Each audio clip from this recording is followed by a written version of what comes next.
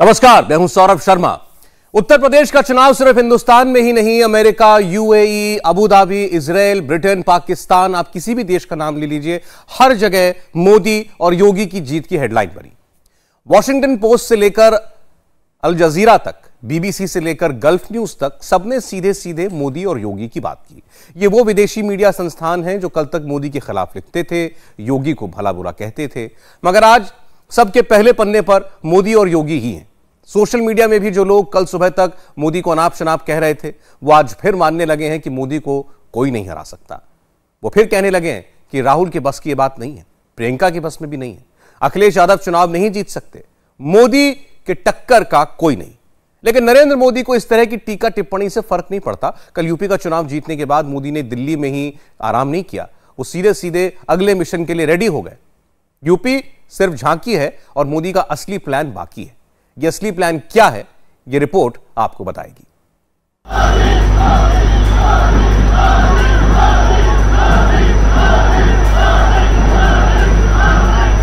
ये कंफर्म हो गया है।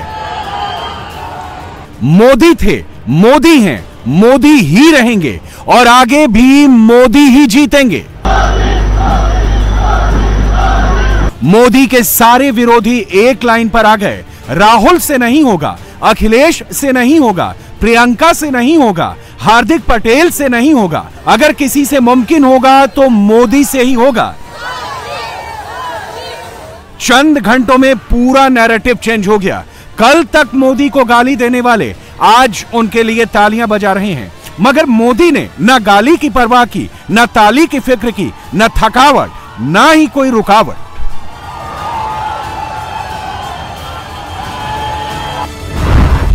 जीत का चौका लगाने के बाद अगले मिशन पर निकल पड़े। मोदी का इमीडिएट गोल है गुजरात और हिमाचल प्रदेश। गौर से देखिए इस तस्वीर को।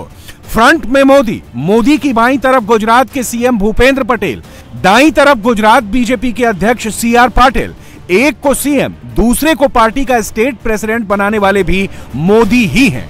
और इस एक तस्वीर से मोदी का मैसेज लाउड एंड क्लियर है।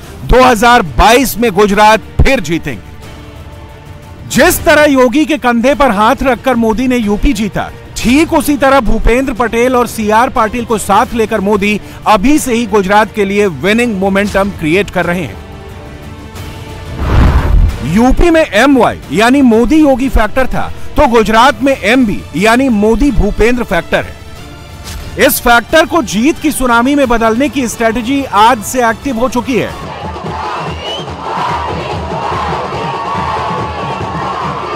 बीजेपी ने कमल निशान वाली नई भगवा टोपी क्वाइन की है। ये नया टेम्पलेट है। काशी में मोदी ने भगवा टोपी पहनी, पोस्टर बीजेपी दफ्तर में छपा और चार राज्यों में बीजेपी ने परचम लहरा डाला। गुजरात और हिमाचल के लिए भी सेम स्ट्रेटजी है। मोदी ने बीजेपी के सारे कार्यकर्ताओं से अभी से जीत वाला टास्क दे दिया है।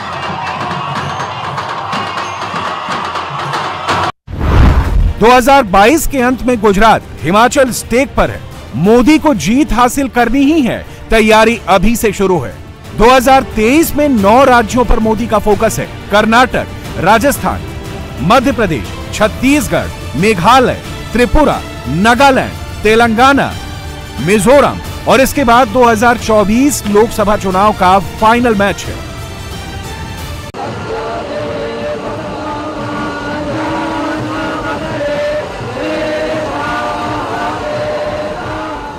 मोदी यूपी प्लस तीन राज्यों में मिले मोमेंटम को कैरी फॉरवर्ड करना चाहते हैं। वो रुके नहीं हैं, थके नहीं हैं। राहुल अखिलेश और बाकी मोदी विरोधी तो हार के बाद छुट्टी मनाने चले गए। हफ़्ते दो हफ़्ते मोदी विरोधी इकोसिस्टम हार पर मंथन करेगा। मगर मोदी तो मोदी हैं, वो जीत के बाद भी नॉनस्टॉप डटे हुए हैं।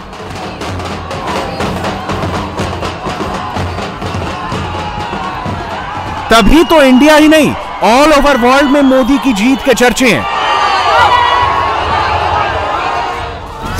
गौर से पढ़िएगा गल्फ न्यूज़ की हेडलाइन योगी आदित्यनाथ 2022 नरेंद्र मोदी 2024 मोदी ने योगी को रास्ता बताया, योगी ने जीत कर दिखाया, और खलीज टाइम ने छापा कि 2024 के लिए मोदी का रास्ता ऑल क्लियर हुआ। देश के चार हिस्सों में भगवा परचम मोदी की पॉपुलैरिटी की बदौलत लहराया। वॉल स्ट्रीट जनरल ने बिल्कुल यही बताया। मानो, पूरी दुनिया की नज़र इन चुनावों पर थी, खासकर यूपी पर। सबको बेसब्री से नतीजों का इंतज़ार था। हेडलाइन पहले से रेडी थी, बस छापने भर की देर थी।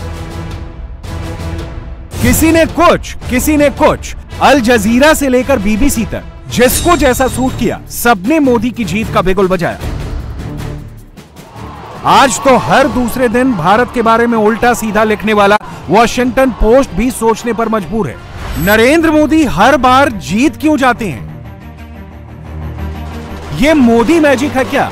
आज इसे डिकोड करते हैं। मोदी अपने काम से जीतते हैं कमिटमेंट से जीतते हैं, बिना रोके, बिना थके, चौबीसों घंटे, तीन सौ पैंसठ दिन, बस लगे रहते हैं। डटे रहते हैं। यूपी के बाद मोदी की टॉप प्रायोरिटी गुजरात है। लोगों को भी पता है कि हार्दिक पटेल और राहुल के कॉम्बिनेशन से नहीं चलेगा। उनका काम तो मोदी से ही होगा। पूरे चार राज्यों में जो प्रचंड बहुमति आया है और जो कि गुजरात के सपूत है।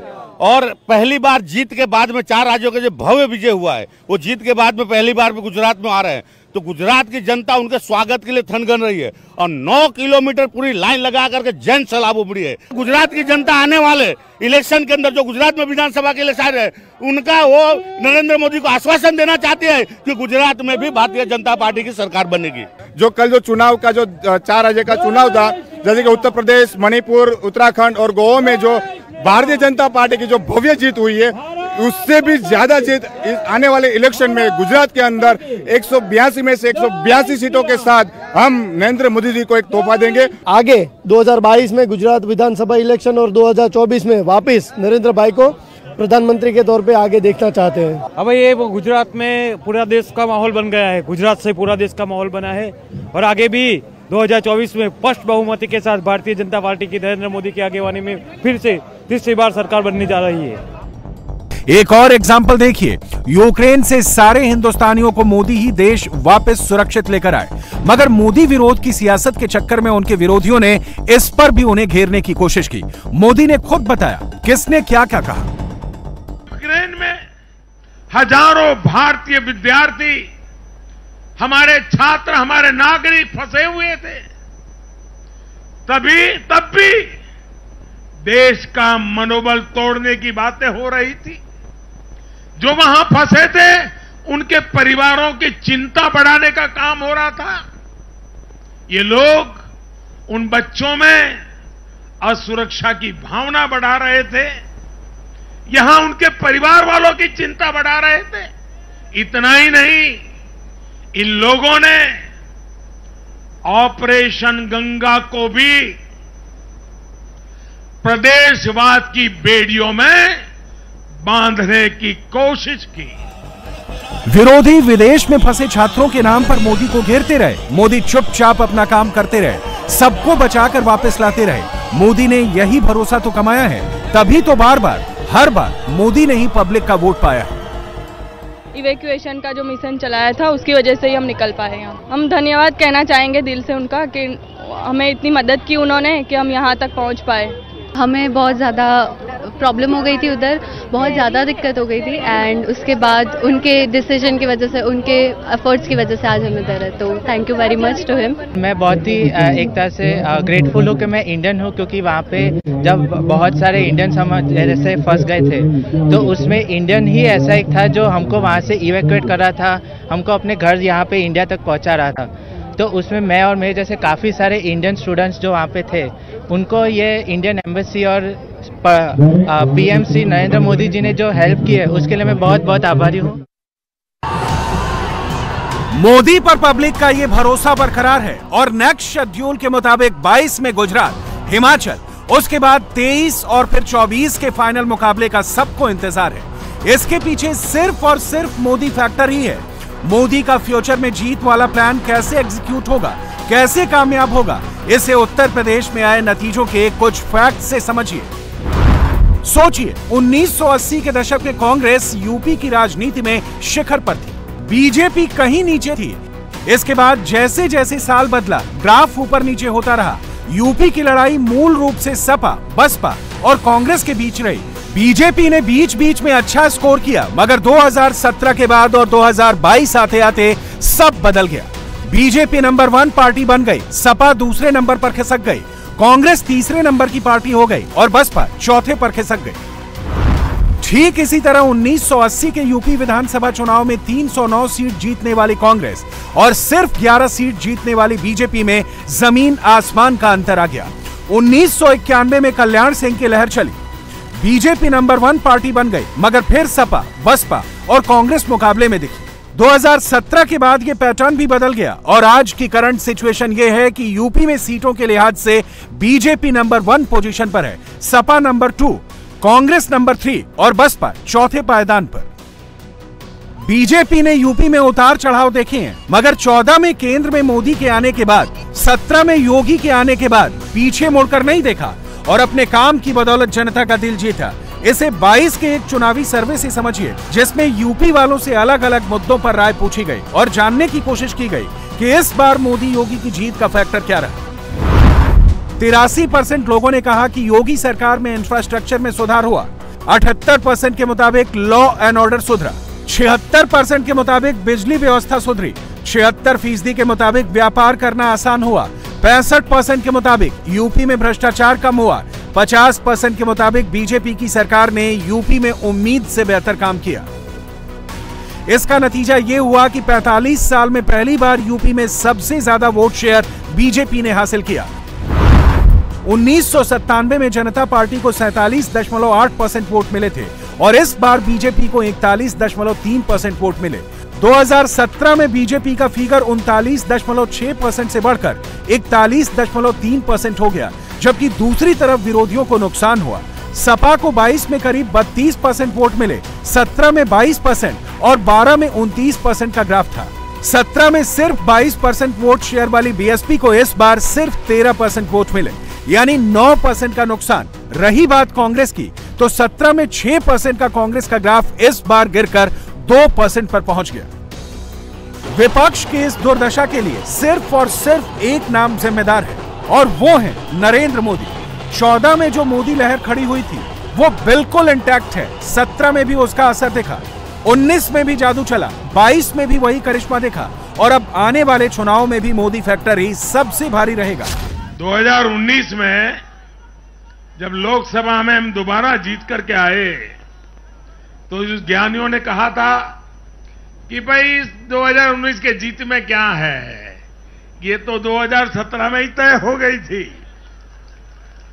क्योंकि 2017 में यूपी का रिज़ल्ट आया था। मैं मानता हूँ, इस बार भी ये ज्ञानी ज़रूर कहने की हिम्मत करेंगे कि 2022 के नतीजों ने 2024 के नतीजे तय कर दिए हैं। हमें जुट जाना है। एक पल भी गंवाना नहीं है। चुनौतियाँ कितनी ही कठिन क्यों न हो, लेकिन जीतने का संकल्प उससे भी बड़ा होता है।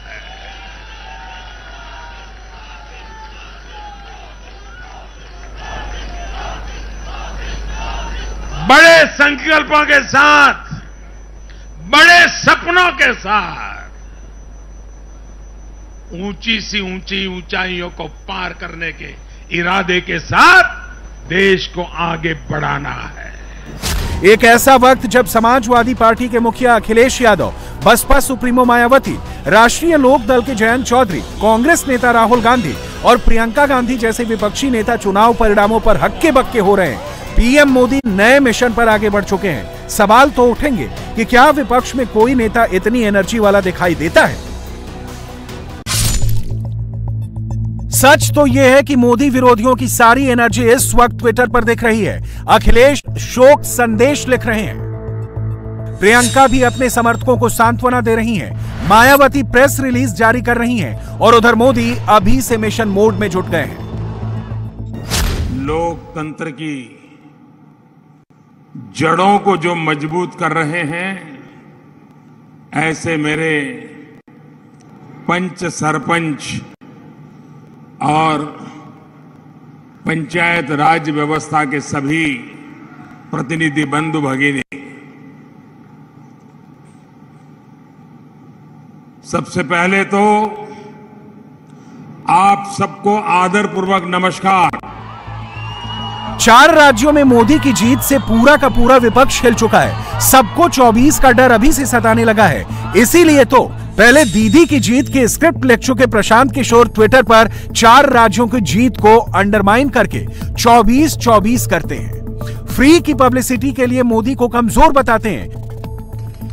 और फिर दीदी कैमरे पर आकर सबसे पहले अखिलेश को ईवीएम की फॉरेंसिक जाँच कराने की बेफिजूल की सलाह दे देती हैं।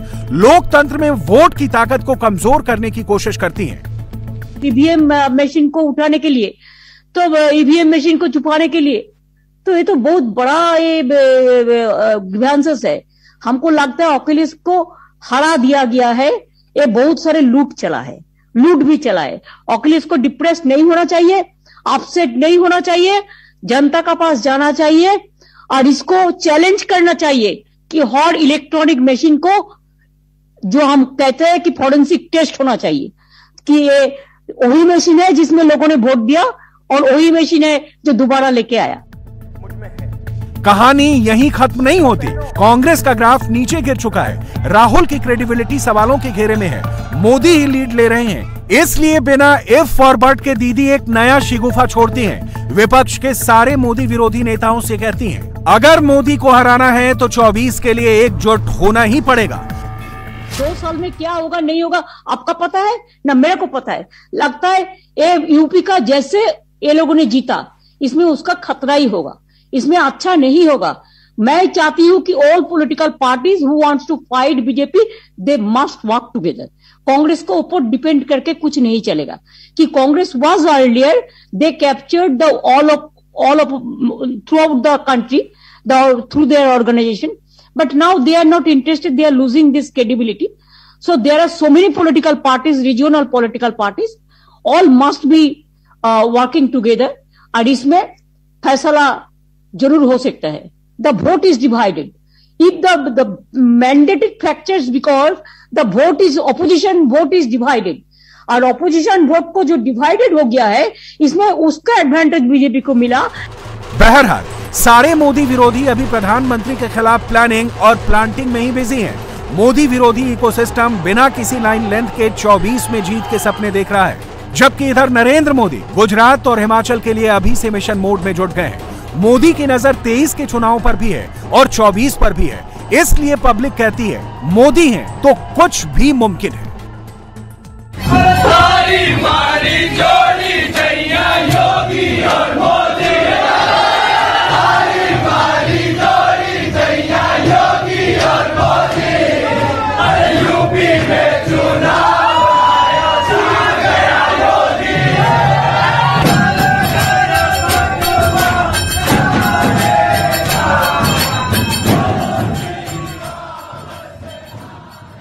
यूपी की 403 सीटों में से 273 सीटें जीतने का मतलब है, योगी अब पहले से और भी ज़्यादा ताकतवर पावरफुल होकर आ रहे हैं।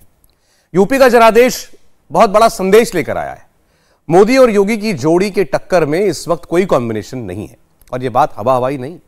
उत्तर प्रदेश के 403 सीटों के बूथ की रिपोर्ट हमने छानी।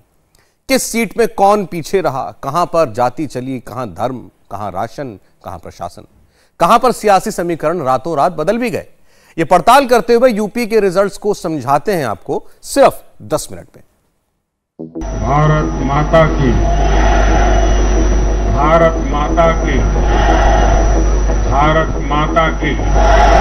भारत माता की भारत माता की भारत माता की।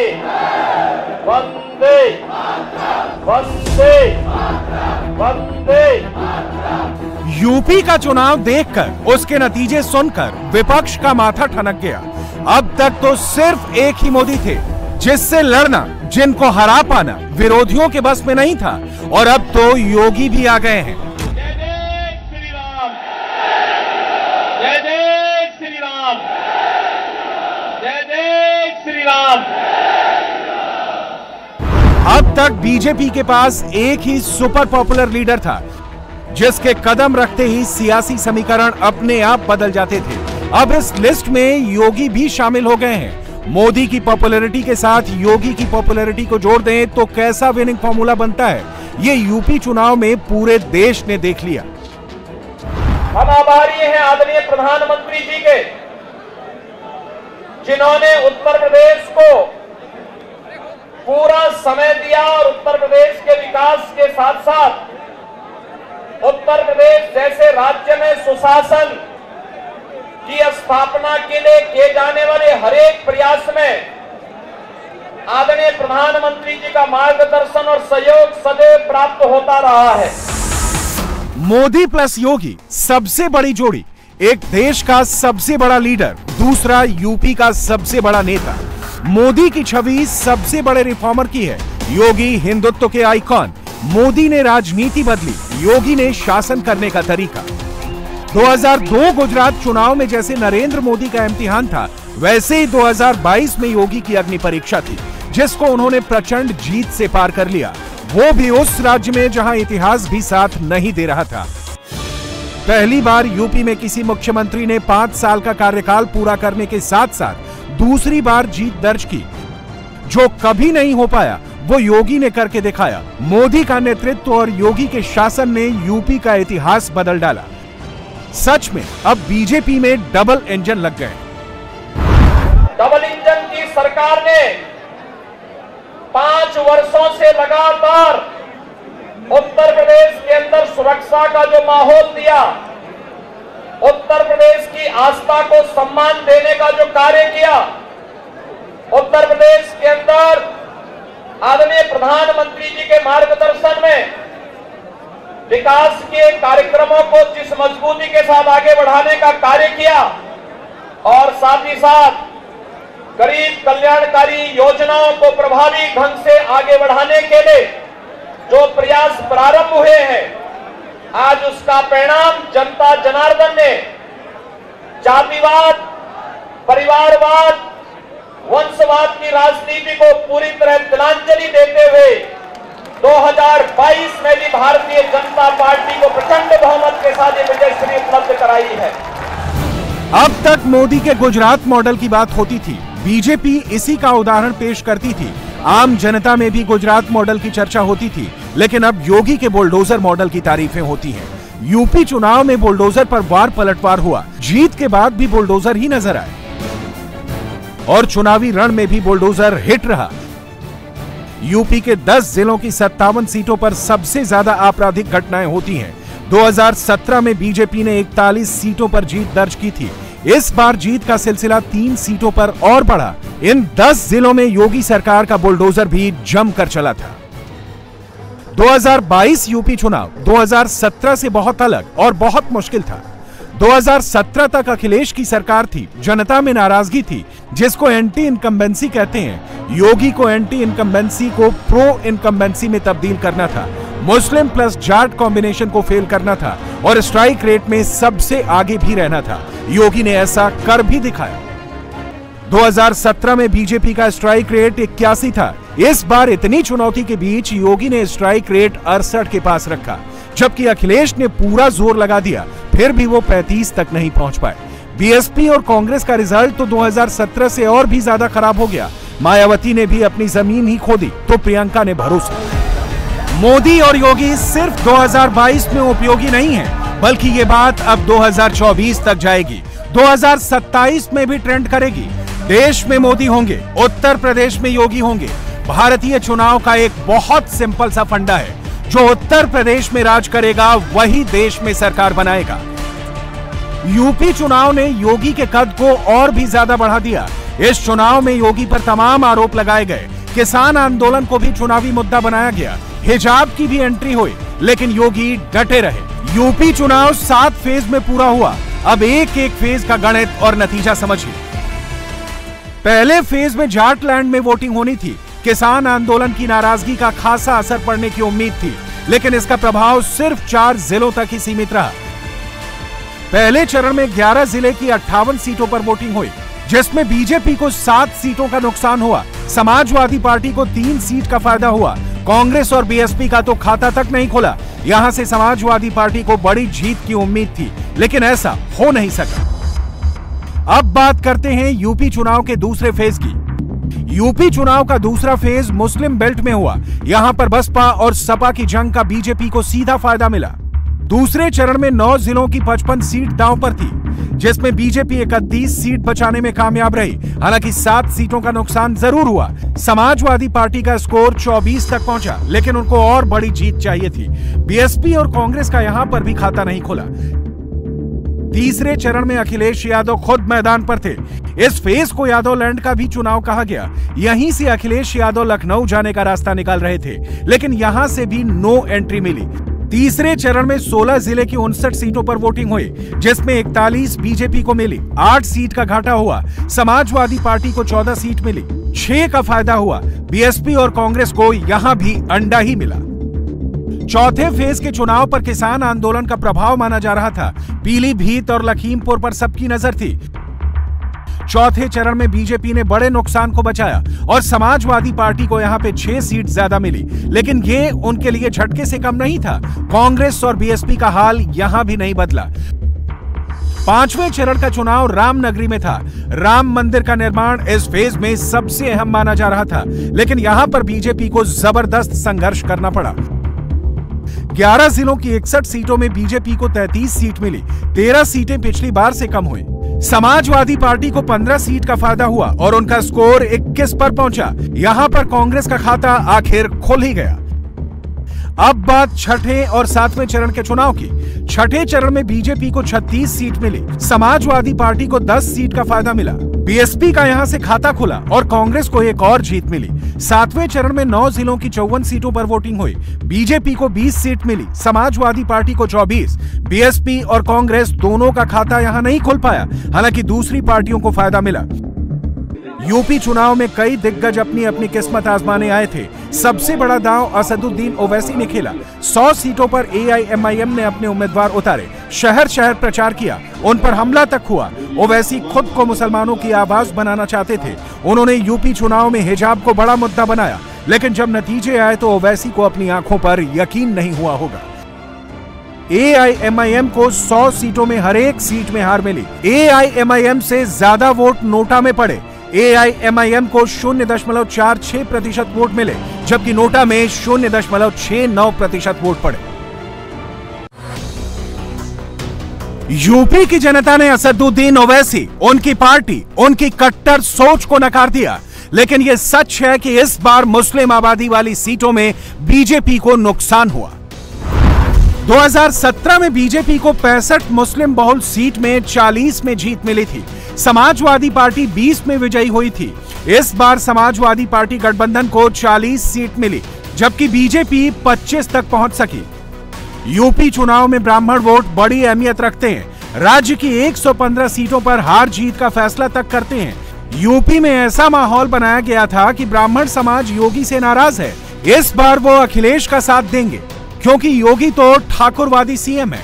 ऐसे आरोप भी लगाए गए थे, लेकिन जब नतीजा आया तो कहानी कुछ और ही निकली। दस ब्राह्मण बाहुल्य विधानसभा सीटों का नतीजा बता रहा है, ब्राह्मण योगी सरकार के साथ थे। सबसे ज़्यादा ब्राह्मणों की आबादी करीब एक लाख साठ हज़ार साहिबाबाद में है।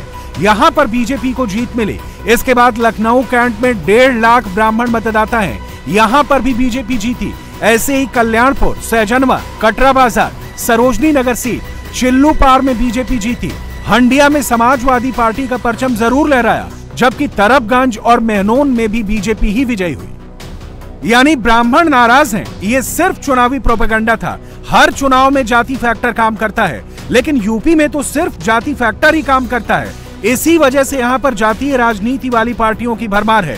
हालाँकि इस चुनाव में जनता ने जात से ऊपर उठकर योगी को वोट दिया। इस ग्राफिक से समझिए, किस जात के वोटर्स ने किस पार्टी को चुना। ब्राह्मणों की पहली पसंद बीजेपी ही है, ठाकुरों की भी। जाटों का वोट बीजेपी की तरफ़ खिसका। गैर जाटों ने बीजेपी को चुना तो मुस्लिमों ने समाजवादी पार्टी पर भरोसा किया। यादवों की पहली पसंद अखिलेश ही रहे, जबकि पिछड़ी जाति ने योगी पर यकीन दिखाया। यूपी में योगी ने वो कर दिखाया, जो आज तक कोई नहीं कर सका था। इतिहास को बदला, मिथकों को तोड़ा। सियासत में अंधविश्वास को खत्म किया और गोरखपुर से रिकॉर्ड तोड़ जीत दर्ज की। गोरखपुर सदर सीट से योगी चुनाव लड़ रहे थे। उनको एक लाख पैंसठ हज़ार चार सौ निन्यानवे वोट मिले। कुछ छियासठ दशमलव एक आठ फ़ीसदी वोट के साथ विजयी हुए। अखिलेश, प्रियंका, मायावती, सबने योगी को चैलेंज दिया। मगर योगी के सामने कोई नहीं टिक सका। अब आपको दिखाते हैं, यूपी चुनाव में किसने बड़ी जीत दर्ज की? कौन बाल बाल बचा 2017 के चुनाव से तुलना करें तो इस बार इक्यावन नेता पचास हज़ार से ज़्यादा वोट से जीते। 40 से पचास हज़ार वोट के बीच पिछली बार बयालीस उम्मीदवारों को जीत मिली थी। इस बार 36 ऐसे ही जीत का अंतर कम ज़्यादा रहा। गौर करने वाली बात यह है कि इस बार एक से दस हज़ार वोट के बीच 110 प्रत्याशियों को जीत मिली और एक हज़ार से कम वोट से 14 लोगों को जीत मिली, जबकि पिछली बार आठ को मिली थी। इस बार पहले से ज़्यादा कड़ी टक्कर मिली है, लेकिन जीत तो जीत ही होती है, कम या ज़्यादा नहीं। और एक बार फिर योगी वापस आ गए हैं। अगले पाँच साल तक महाराज का राज होगा, योगी सरकार का बुलडोजर चलेगा।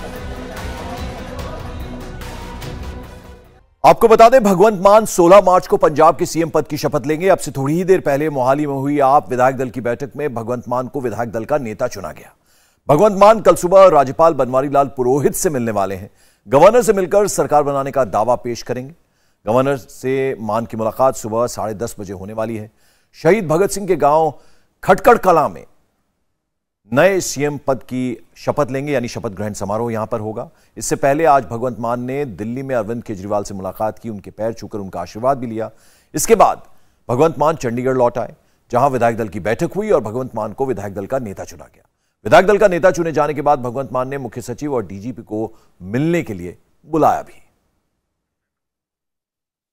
रूस और यूक्रेन में जारी भीषण जंग के बीच केमिकल अटैक को लेकर यूएनएससी की बड़ी बैठक होने वाली है। पहले रूस ने यूक्रेन पर अमेरिका के साथ मिलकर केमिकल हथियार बनाने का आरोप लगाया था और अब अमेरिका ने रूस पर यही आरोप लगाते हुए टेंशन बढ़ा दी है। अमेरिका ने दुनिया को आगाह किया है कि रूस केमिकल हमले की तैयारी कर रहा है। दूसरी तरफ़, कीव के बाहर खड़े पुतिन के काफिले को यूक्रेन ने टारगेट पर ले लिया है। बैक टू बैक ब्लास्ट हो रहे हैं। नौबत यहाँ तक आ गई है कि पुतिन की आर्मी टैंक को पेड़ों के नीचे छिपा रही है। you.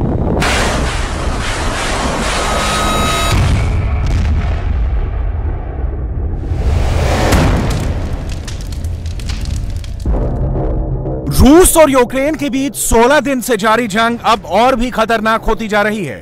इस शहर में बमबारी हो रही है। लोग यूक्रेन छोड़कर भाग रहे हैं। रूसी सेना कीव के और करीब पहुँच गई है। पिछले दिनों जेलेंस्की की नरमी के बाद उम्मीद की जा रही थी कि जंग पर ब्रेक लगेगा। लेकिन यूक्रेन पर अमेरिका के साथ मिलकर बायोलॉजिकल और केमिकल हथियार तैयार करने का आरोप लगाते हुए रूस ने हमले और तेज कर दिए हैं।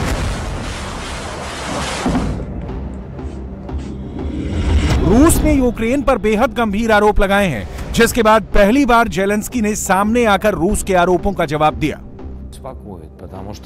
मैं योग्य देश का योग्य राष्ट्रपति और दो बच्चों का पिता हूँ। मेरी ज़मीन पर कोई बायोलॉजिकल और केमिकल हथियार नहीं है। पूरी दुनिया और आप भी ये बात जानते हैं। लेकिन अगर रूस हमारे खिलाफ ऐसा कुछ करता है तो उसे कड़े प्रतिबंधों का सामना करना पड़ेगा। अमेरिका पहले ही रूस के इन दावों को खारिज कर चुका है। दूसरी तरफ़ यूक्रेन की कैपिटल कीव पर कब्जा करने के लिए अब पुतिन ने नया प्लान तैयार कर लिया है। पुतिन यहाँ अपनी आर्मी की मदद के लिए स्वयं सेवी लड़ाके उतारने की तैयारी कर रहे हैं। इसके लिए मिडिल ईस्ट के लड़ाकों को यूक्रेन भेजने की तैयारी शुरू कर दी गई है। इसके अलावा सीरिया में इस्लामिक स्टेट के खिलाफ लड़ने वाले सैनिकों को भी यूक्रेन में उतारा जा सकता है। स्वयं सेवक सेनानियों को यूक्रेन में लगाया जाना चाहिए। रूस को मध्य पूर्व के देशों से 16,000 से अधिक आवेदन के बारे में पता है। उनमें से कई ऐसे लोग हैं जिन्होंने इस्लामिक स्टेट समूह के खिलाफ रूस के साथ लड़ाई लड़ी थी। ये लोग जो पैसे के लिए नहीं अपनी मर्ज़ी से डोनबास में रहने वाले लोगों की मदद के लिए आना चाहते हैं। तो हमें उन्हें वो देने की ज़रूरत है जो वो चाहते हैं। और उन्हें संघर्ष क्षेत्र में लाने में मदद करें। जहाँ तक हथियारों की डिलीवरी का सवाल है, खासकर पश्चिमी देशों में, जो रूसी सेना के हथियारों में है। बेशक मैं लुहानस्क और डोनेस्टिक पीपुल्स रिपब्लिक की सैन्य इकाइयों को इन्हें देने की संभावना का समर्थन करता हूँ। कीव को कैप्चर करने के लिए रूसी आर्मी का पैंसठ किलोमीटर लंबा काफिला भी अब आगे बढ़ने लगा है। यूक्रेन की सेना इसे रोकने के लिए लगातार धमाके कर रही है। यूक्रेन की मीडिया ने यह नया वीडियो जारी कर दावा किया है कि रूसी आर्मी के काफिले पर ड्रोन से हवाई हमले किए जा रहे हैं। इस हमले में रूसी टैंक्स को काफ़ी नुकसान पहुँचा है, जो तस्वीरों में भी साफ़ साफ़ देखा जा सकता है। कीव पर कब्जे के लिए अब जंग ज़मीन पर भी चल रही है। रूसी सेना लगातार कीव में दाखिल होने की कोशिश कर रही है और उसे यूक्रेन की आर्मी के जवाबी हमले का सामना करना पड़ रहा है। रूस की तरफ़ से जारी इस वीडियो में साफ़ देखा जा सकता है कि किस तरह से कीव पर कब्जे के लिए रूस की आर्मी जंगल के रास्ते शहर में घुसने की कोशिश कर रही है, जहाँ जोरदार फायरिंग की आवाज़ को सुना जा सकता है। कीव के बाद ईस्ट यूक्रेन के बड़े औद्योगिक शहर डेनेप्रो पर हमले का ये लेटेस्ट वीडियो देखिए। एयर स्ट्राइक कर रूसी फाइटर जेट्स ने यहाँ एक किंडरगार्टन और अपार्टमेंट को निशाना बनाया। रूसी एयर स्ट्राइक के बाद यहाँ भीषण आग लग गई। हमले में शहर को कितना नुकसान पहुँचा, इसका अंदाज़ा तस्वीरों को देखकर लगाया जा सकता है। रूस के इस हमले में एक व्यक्ति की भी मौत हो गई। यूक्रेन के जितोमीर शहर में भी रूस की सेना ने सुबह सुबह जमकर बमबारी की। कई किलोमीटर दूर तक धमाकों की जोरदार आवाज़ सुनाई दी।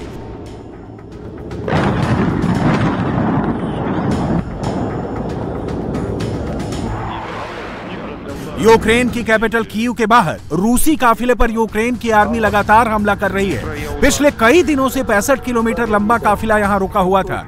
लेकिन अब यूक्रेन की सेना ड्रोन का इस्तेमाल कर रूस को नुकसान पहुँचाने में लगी है।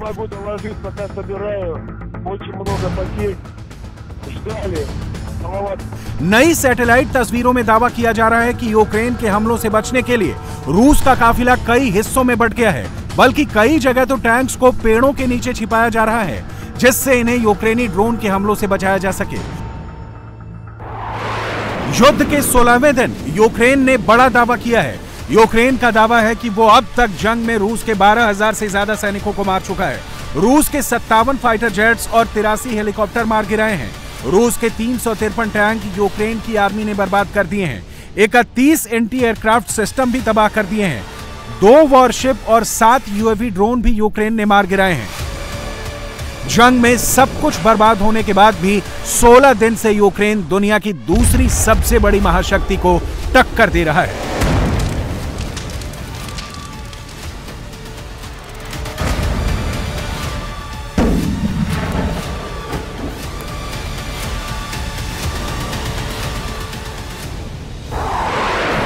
का दावा है कि वो अब तक यूक्रेन के 2500 से ज़्यादा मिलिट्री ठिकाने तबाह कर चुका है। उन्यासी रडार स्टेशन बर्बाद कर दिए गए हैं। 900 से ज़्यादा टैंक तबाह हो चुके हैं। रूस ने यूक्रेन के दो मिग 29 और एक सू 27 जेट को भी मार गिराया है। साथ ही दो एंटी एयरक्राफ्ट मिसाइल सिस्टम को भी बर्बाद कर दिया है। रूस और यूक्रेन में जारी जंग के बीच बातचीत का रास्ता भी लगातार खुला हुआ है। हमले भी हो रहे हैं और बैठकें भी चल रही हैं। जेलेंस्की के तेवर नरम पड़ने के बाद पुतिन भी नरम पड़ते दिखाई दे रहे हैं। जंग के बीच आज बेलारूस के राष्ट्रपति अलेक्जेंडर लुकानशेको ने पुतिन से मुलाकात की। खबर है कि मुलाकात के दौरान यूक्रेन के साथ जारी बातचीत को लेकर पुतिन ने सकारात्मक रुख दिखाया। इससे पहले जेलेंस्की भी नेटो के रवैयों को देखते हुए पुतिन से मुलाकात की इच्छा ज़ाहिर कर चुके हैं। इंडिया टीवी हर वक्त, हर जगह। डाउनलोड करने के लिए सर्च करें India TV news Google Play Store या एप स्टोर पर।